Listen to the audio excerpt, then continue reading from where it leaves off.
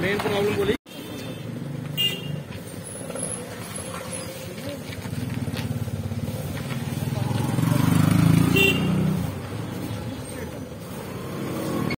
Ward number 31 में ये भगवती नगर, ये भवानी नगर गोलपुली ये लेन नंबर फाइव का मसला है, बहुत प्रॉब्लम में हो रही है यहाँ पे।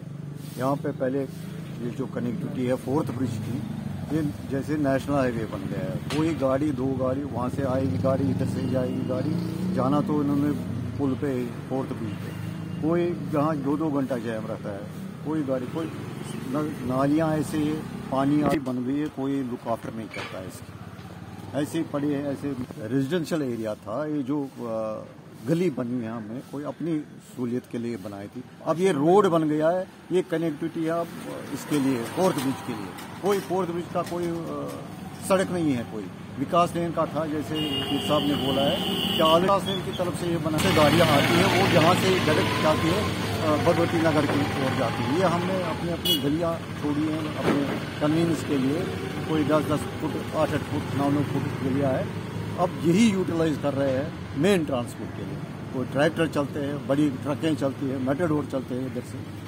ये तो बंद होना चाहिए ये सारा? ये कोई इसकी कनेक्टिविटी होनी चाहिए थी, अच्छी सी। जो पुल पे पहुँच जाएँगे हम यहाँ से।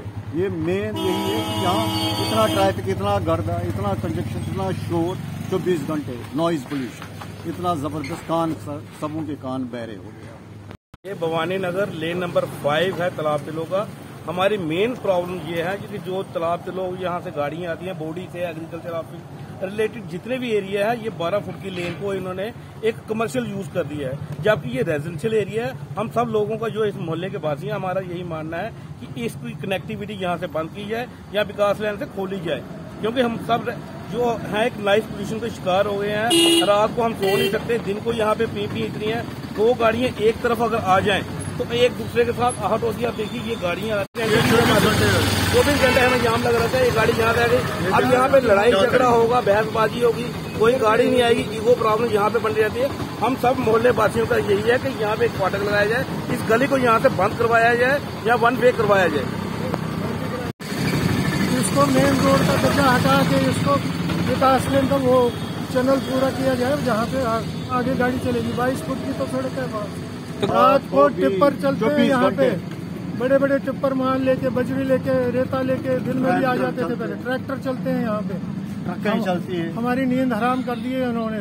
आना जाना मुश्किल हो गया है यहाँ पे। वो भी चाहे दो बजे हो चाहे तीन बजे हो सवेरे हर समय 24 घंटे चालू रहता है यहाँ इतना हैजर्ड बन गया है हेल्थ हैजर्ड बन गया है। दस फुट का